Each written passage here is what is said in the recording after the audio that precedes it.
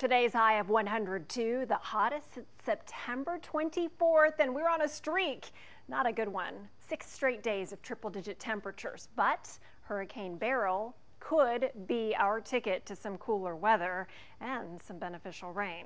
90 outside right now, heat index still at 91. Luckily, no heat advisories except for Milam County extended through tomorrow. And tomorrow I am forecasting 101 in Austin, 101 in Llano, 97 Blanco, and 96 degrees in LaGrange.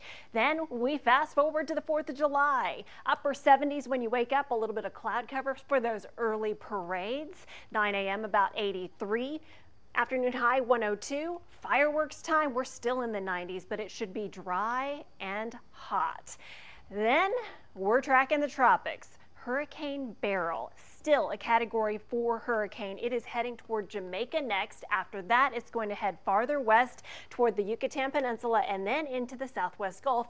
And the National Hurricane Center has the official hurricane track just south of the border in far northern Mexico. But that cone of uncertainty does include Texas. And look at all of the possibilities. It's still a huge range, so it's difficult to ascertain exactly what that will mean for central Texas, except to say rain chances are looking better and temperatures are looking cooler. So we could see anywhere between maybe as little as a quarter of an inch to possibly upwards of three, four, five, six inches. Let's go hour by hour as well because before Beryl affects us, which would be at the earliest Sunday, Monday, Tuesday, we potentially could see a weak front try to get in here on Friday. Now this computer model is really aggressive. It's actually bringing some showers on Friday as that cooler air gently pushes in, could stall to our north though. So I'm not terribly convinced that Friday is going to be a much cooler day, but Saturday I've upped the rain chance to 30% and dropped our temperatures into the 90s for what could be several days.